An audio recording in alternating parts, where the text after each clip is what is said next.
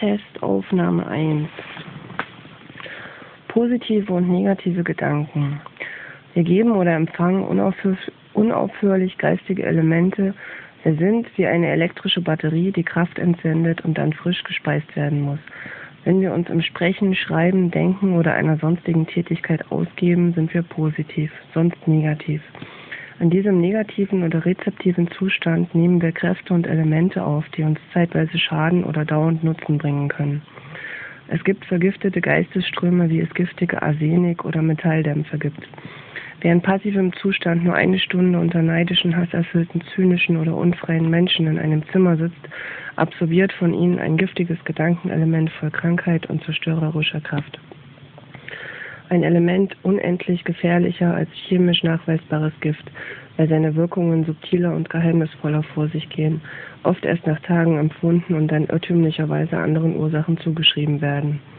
Es ist von höchster Wichtigkeit, wo und in welcher Umgebung wir uns während des negativen Zustandes befinden, weil wir da gleich einem Schwamm mentales Fluidum absorbieren und nach mehreren Stunden geistiger oder physischer Anstrengung, wenn wir positiv waren und Kraft ausgaben, ist der negative Zustand Naturrecht und Naturbedürfnis.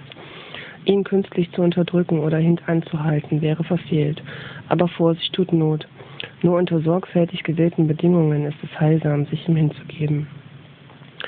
Wer in erschöpftem Zustand sich unter eine Menge unruhiger, fieberisch erregter Menschen begibt, wird von ihnen zwar nicht psychisch ausgesogen, denn er hat fast nichts zu geben, aber er nimmt wenigstens vorübergehend von ihrem inferioren Wesen in sich auf.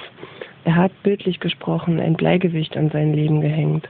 Er wird, wenn auch nur für kurze Zeit, etwas von ihrer Art zu denken und die Dinge zu beurteilen annehmen. Er wird kleingläubig sein, wo er hoffnungsvoll war. Die Pläne, die ihm noch kürzlich stark nah und der Erfüllung sicher schienen, wirken plötzlich wie ferne Nebel. Ende Test.